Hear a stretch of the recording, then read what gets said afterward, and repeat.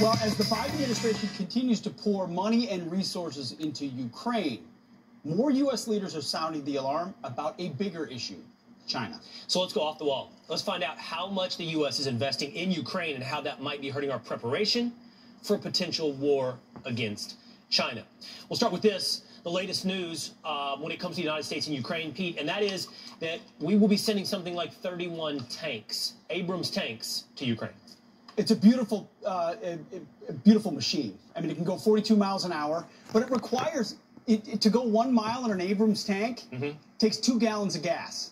So the logistics behind an Abrams are massive. Uh, and that's the concern. You're sending 31 of them. You have to be well trained to use them. They're very complicated. They require it's a jet engine that pushes it. Uh, so yes, the the capabilities are wonderful. Uh, but the question is, are 31 enough to make a difference? That's what I was going to ask you. How big of an impact would this have? Does this have in Ukraine? This was this was meant to be top cover for European countries to provide their own tanks to Ukraine. Russia is saying it looks like an offensive capability, which it oftentimes is.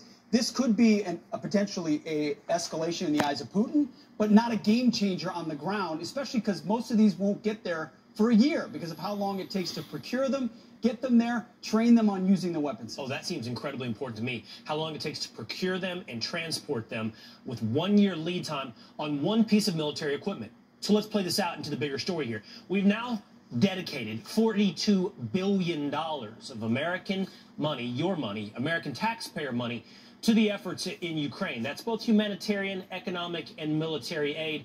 And the Abrams tanks, Pete, one part of the larger story of what we've dedicated to. More lethality from an Abrams tank, but we're already talking about helicopters, APCs, 300 of them. This is what we rode in in Iraq and Afghanistan, oftentimes MRAPs. Um, we left a lot of them behind in Afghanistan, so these are the ones that we didn't leave behind.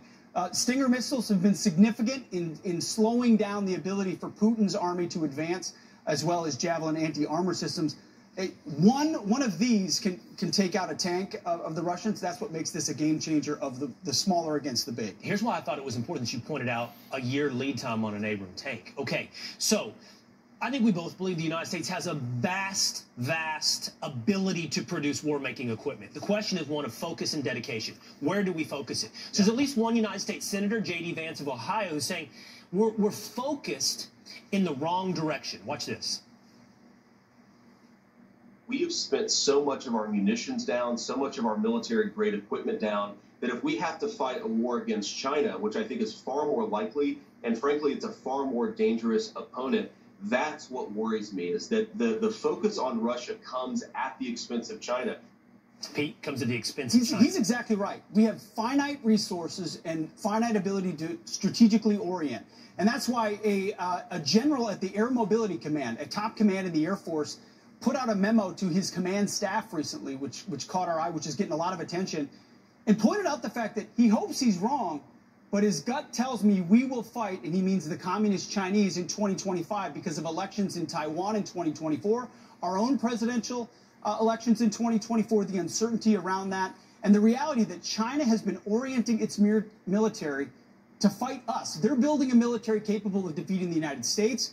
We have a military that's been fighting in the Middle East for 20 years and has is now focused in Ukraine, uh, and they see that as an opportunity. Terrifying statement. Be ready by 2025. The Defense Department is saying that's not representative of the yeah, Defense Department's view on China. Let's take it for a moment. Let's say J.D. Vance is right that we're we're distracted. We're, our focus is torn. We're not looking at the real threat in China.